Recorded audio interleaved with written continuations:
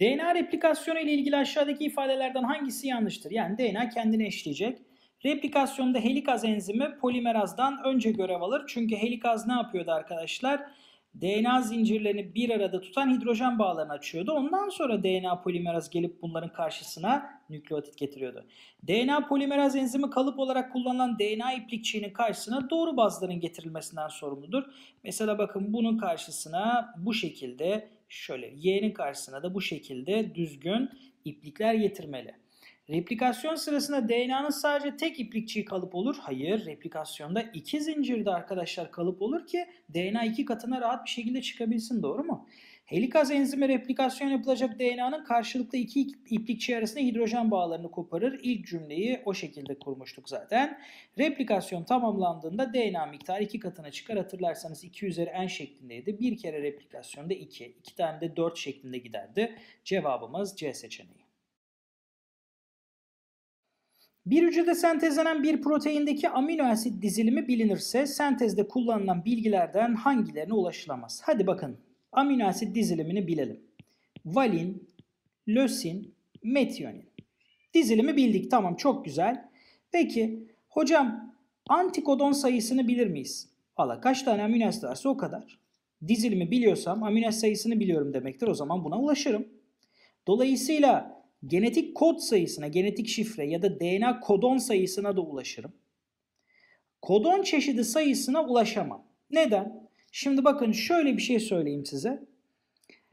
Mesela diyelim ki burada bir tane daha lösin olsaydı bir amino asidin birden fazla genetik kodonu bulunabilirdi değil mi? O yüzden arkadaşlar belki aynısı belki farklısı kullanmıştır. Şimdi sadece kafamdan yazıyorum. Diyelim ki AAA ile AAG lösini kodluyor. Ama ben şimdi hangisinin lösin kodladığını bilmiyorum ki hocam. Çünkü sen bana sadece dizilimi söyledin. Dedin ki protein dizilimi yani protein içindeki amino asit dizilimi bu kadar.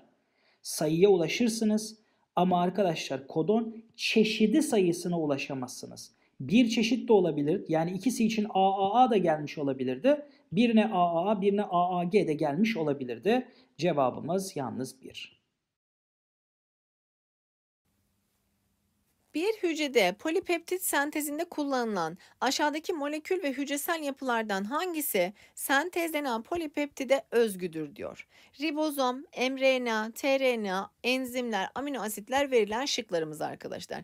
Biz şunu unutmamamız gerekiyor ki mRNA her protein sentezi için özel olarak üretilir. Bu nedenle cevabımız B seçeneği olmuş oluyor.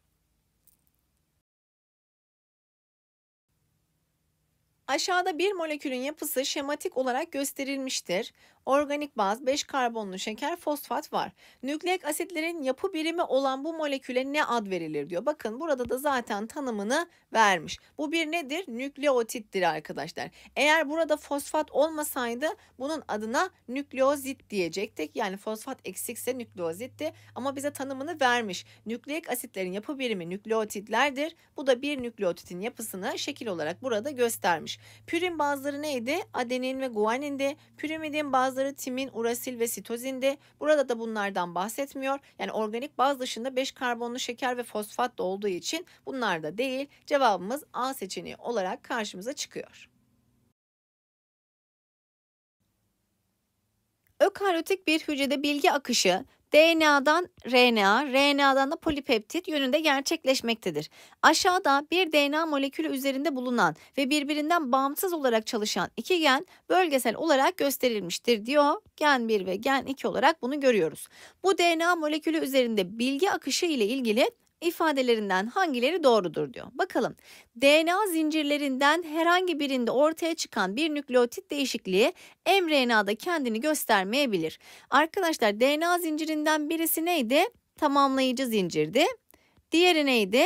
Anlamlı zincir değil mi? Kalıp, kalıp zincir yani. Peki bunlardan herhangi birinde diyor. Hangisi olduğunu bilmediğim için bu mRNA'da kendini göstermeyebilir diyebilir miyim? Derim arkadaşlar. Çünkü DNA'dan mRNA sentezlenmesi anlamlı ipliğe göre yapılıyor. Eğer bu zincirdeki herhangi bir bozukluk tamamlayıcı zincirde ise o zaman mRNA'da kendini göstermeyebilir diyebilirsiniz. O zaman bir olmayanları hemen eleyelim.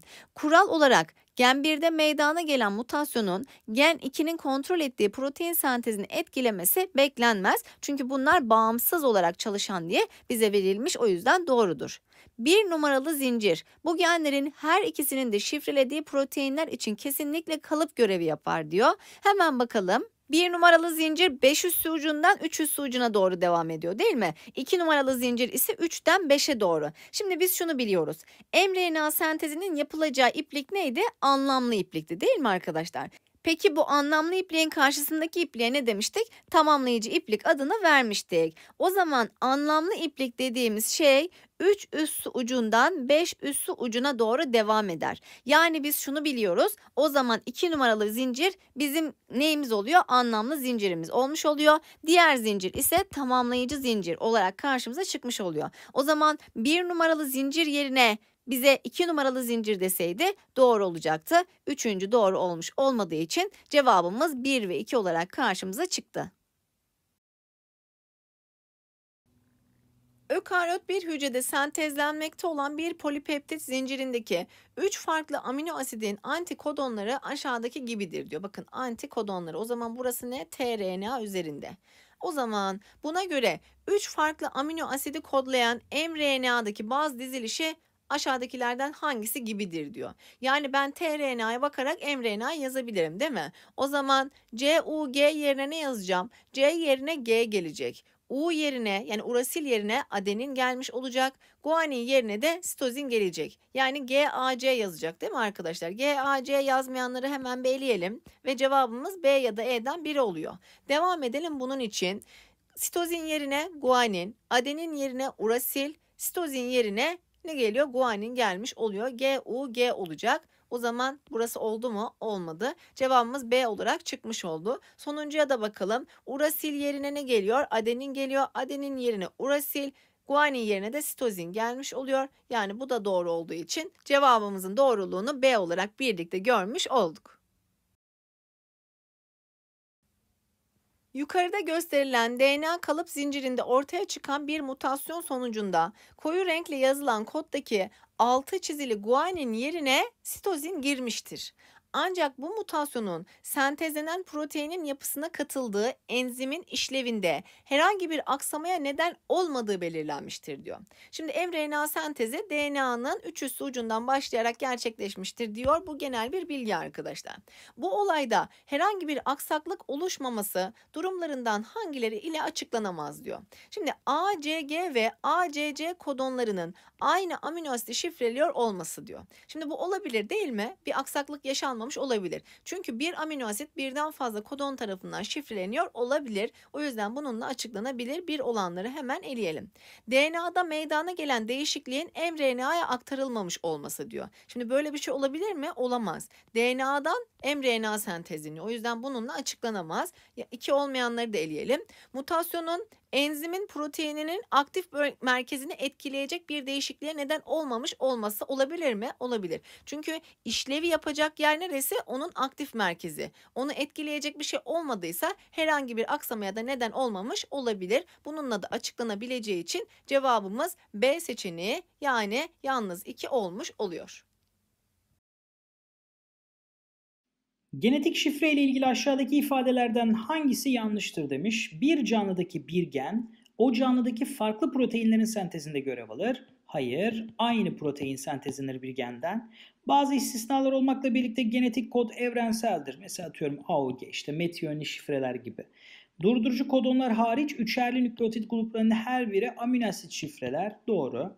Bir canlıda bir amino asit şifreleyen birden fazla kodon çeşidi olabilir ki bunun sebebi neydi? Nokta mutasyonlara rağmen canlının fenotipindeki değişimi önlemekti. Lütfen bunu unutmayın. DNA üzerinde bulunan ve durdurucu şifreler hariç bir amino asit kodlayan üçlü baz dizilerine genetik şifre ya da kod denir. Evet yani genetik şifre, kodon, DNA kodon ifadeleri arkadaşlar doğru olabilir. Cevabımız A seçeneği. Protein yapısına katılan 20 çeşit amino asit bulunmasına rağmen bunları şifreleyen genetik kod veya kodon sayısı 61. Böylece hemen hemen her amino asit için birden fazla genetik kod var. Peki bu genetik kod sayısının fazla olması canlılarda hangi avantajı sağlardı? Özellikle derslerde sürekli ama sürekli vurguladığım bir şey var. Şimdi kendi kafamdan yazıyorum. Gerçek olduğu değil. Sadece bir yorum yapalım. Bakın şimdi. Valin amino asitini şifreleyen AAA ve AAT olsun. Tamam mı arkadaşlar? Yani DNA'dan bahsediyorum. Şimdi DNA üzerinde şöyle bir AAA da olsa, şöyle bir AAT de olsa buralardan sentezlenecek mRNA'nın tam bu karşısına denk gelen amino asit ne olacaktır? Valin olacaktır. Dolayısıyla sentezlenen protein değişmemiş olacak. Nedir hocam? Konumuz şu. Buradaki A mutasyona uğrar da yerine T gelirse fark etmeyecek. Vücudumuz yoluna devam edecek. Bu sayede mutasyonlara karşı vücudumuz korunmuş olacak. Yani her mutasyonda gelecek amino asit değişirse bu da protein yapısını değiştirir hocam. Bu da insanın ya da herhangi bir canlının var olmasını imkansız kılar. Bakın neden genetik kod sayısı fazlaymış? Canlıların daha fazla çeşit protein sentezlenmesine olanak sağlama. Hayır 61 çeşit. O, o arkadaşlar hani ekstradan bir kodun değişmesi başka bir protein sentezlenmesine olanak sağlamaz. Kaldı ki bu istediğim bir şey değil. Ben istiyorum ki aynı proteini düzgün bir şekilde sentezleyeyim. Protein sentezinde bir amino yerine farklı amino asit kullanılmasına izin verme. İstemiyorum böyle bir şey. Çünkü neden? Yapı bozuluyor. Genlerde meydana gelen nokta mutasyonlarının fenotipe yansımasını önleme. İşte olay bu. Sen mutasyona uğrasan bile birden fazla kodonun olduğu için aynı amino asit gelecek korkma sentezlenecek protein de aynı olacak ve bu sayede sen yoluna devam edeceksin. O yüzden cevabımız yalnız 3 olacak. Genetik bilgiden RNA aracılığıyla protein sentezlenmesi olayına santral dogma denir. Şekilde santral dogma özetlenmiştir. DNA'nın kendine eşlemesi replikasyon, RNA sentezi transkripsiyon, protein sentezi translasyon. Y olayı ökaryot hücrelerde nerede gerçekleşir? Y olayı nedir hocam? Y olayı RNA sentezidir. Şimdi baktığınız zaman RNA sentezi çekirdekte olur. Mitokondri ve kloroplastin de kendi DNA'sı var, kendi RNA'ları var. Onlar da ihtiyaç duydukları proteinleri sentezleyebilirler. O zaman cevabımız E seçeneği. Belirli bir zamanda belirli bir yerde bulunan tüm proteinlerin yapılarını, yerleşimlerini, miktarlarını, doku ve hücrelerdeki işlevlerini, diğer proteinlerle olan etkileşimlerin aydınlatan ve bunu yaparken de biyoinformatik desteğe ihtiyaç duyan çalışma alanı nedir? Bakın arkadaşlar ben size şöyle bir şey söyleyeyim. Bir DNA yapısı var değil mi? Bu DNA yapısının incelenmesini sağlayan bir insan genom projesi var. Ya da işte canlı genom projesi var. Yani Genomics denilen, genomik denilen bir proje var. Bu DNA ile alakalıdır. Bu DNA'nın kalıp bölgesinden işte RNA sentezlenmesi, RNA'ların kendi içerisinde modifikasyonları, bu da transkriptomik denilen bir bilim dalıyla incelenir. Bakın size ekstra bilgiler veriyorum şimdi.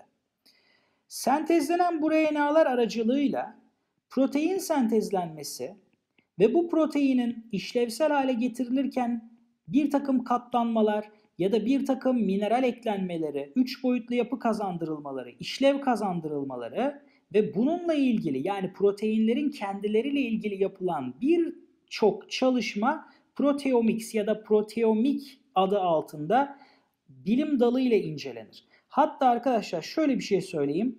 Bunların asıl yaptıkları şey post translasyonel modifikasyonları incelemek. Ne dedin hocam? Bak çok basit. Translasyon protein sentezi. Post protein sentezi sonrası demek. Modifikasyon modifiye etmek. Yani protein sentezlendikten sonra meydana gelen arkadaşlar değişiklikler incelenir. Gen terapisi özellikle virüslerin kullanılarak hücrelerde bulunan ya da bulunmayan diyelim eksik DNA'ların, genlerin yerine koyulması virüsler aracılığıyla genetik danışmanlıkta işte ailenin genetik hastalıklarla ilgili bilgilendirilmesi, işte embriyonun genetik olarak kazandığı, kazanması gereken özelliklerle ilgili işte makaleler yazma, halkı bilinçlendirme ile ilgili yapılan çalışmalar arkadaşlar. Hani burada daha çok böyle aileye yönelik çalışmalar yapıyoruz. İşte ailesinde genetik e, hastalıkları olan bireyleri bilgilendiriyoruz. Doğru cevabımız ne oldu arkadaşlar? C seçeneği. RNA çeşitleri verilmiş. Hangisi yanlıştır? RNA'lar DNA üzerinden sentezlenir. Bir mRNA aynı protein çeşidi için tekrar tekrar kullanılabilir. tRNA sitoplazmadaki amino asitleri mRNA şifresine uygun olarak ribozoma taşır. Hani kodon antikodon ilişkisine göre geliyor diye bu amino asitler. Evet. rRNA proteinlerle birlikte ribozomun yapısını oluşturur ki biz ribozoma hatırlarsanız ne diyorduk? Nükleoprotein. Nükleoprotein yapıldır hocam. Yani nükleik asit olan rRNA ve proteinden meydana gelir. Ribozomda tRNA ile amino asit arasında peptit bağı oluşur. Olur mu hocam? Peptit bağı amino asitler arasında kurulur. tRNA getirdi amino asiti, bir başka tRNA daha gelir şu şekilde. O da amino asit getirmiştir. Büyük alt birimde şu iki amino asit arasında peptit bağı oluşur. Şu tRNA çıkar gider. Cevabımız E seçeneği.